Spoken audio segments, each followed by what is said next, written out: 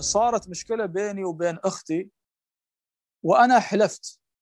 تقول صارت مشكلة بيني وبين أختي وأنا حلفت إني ما بدخل بيتها ولا بسلم عليها.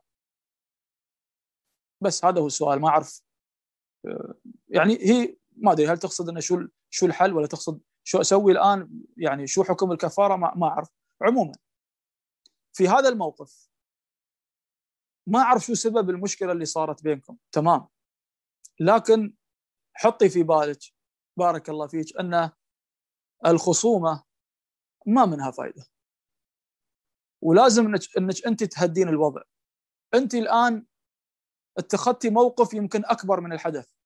ونحن مشكلتنا في حل المشكلات أننا نتعامل مع الموقف بطريقة أكبر من الموقف نفسه. فالموقف عادي يكون مثلا موقف تافه وتحصل ردة فعلنا تكون جدا كبيرة وهذا خطأ. فأنت الآن من وجهة نظري اقطعي الشر وحاولي تخففين الأمور وابدأي سلمي على أختك. أما موضوع أنك أنت حلفتي الحمد لله الدين يسر والدين ما يحثنا على الخصومات. اللي عليك أنك أنت تسوينه سلمي على أختك وقدمي كفارة اليمين والأمور طيبة. النبي صلى الله عليه وسلم يقول من حلف على يمين فرأى غيرها خيرا منها فليأتي الذي هو خير وليكفر عن يمينه.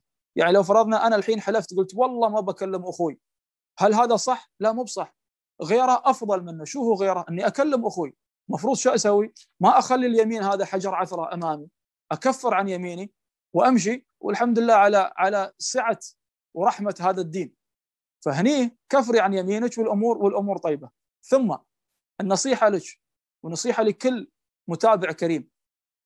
كثيرا من مشاكلنا في البيوت مشاكلنا نحن الإخوة مشاكلنا إحنا الأقارب والأرحام أحيانا تجدون أن لها عدة أسباب لكن واحدة من أسبابها المشهورة هي عدم اختيار الألفاظ الكلمات الجارحة اللي تكون في المجلس. هذه تفر كلمة والثانية ما تتحمل. أحيانا للأسف ما نتحرى ما نتحرى الكلام الصح ونستهون في الكلمة. الله سبحانه وتعالى كما في سورة الإسراء قال وقل لعبادي يقول التي هي أحسن. إن الشيطان ينزغ بينهم. إن هنا خرجت مخرج التعليل. يعني ليش يا الله نقول التي هي أحسن؟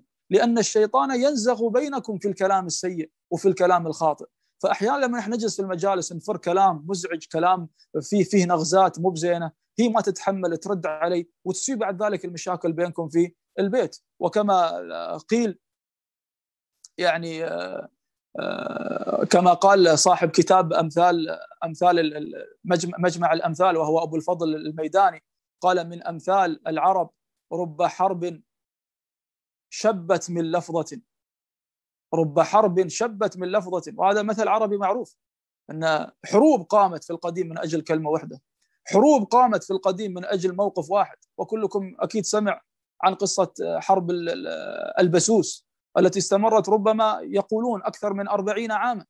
من أجل شو؟ من أجل موقف فقط صار على جمل وعلى ناقة.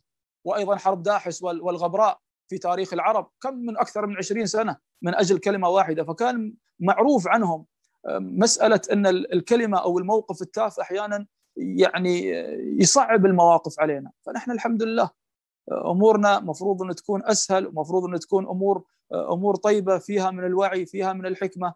فأنا من وجهة نظري بارك الله فيك كفري عن يمينك وحاولوا أنكم أنتم تصلحون هذا آه، الوضع اللي بينكم لأنه يعتمد كله على موضوع أن شو سبب الخلاف هذا اللي صار بينكم. الله يصلح الأحوال الله يصلح الأحوال.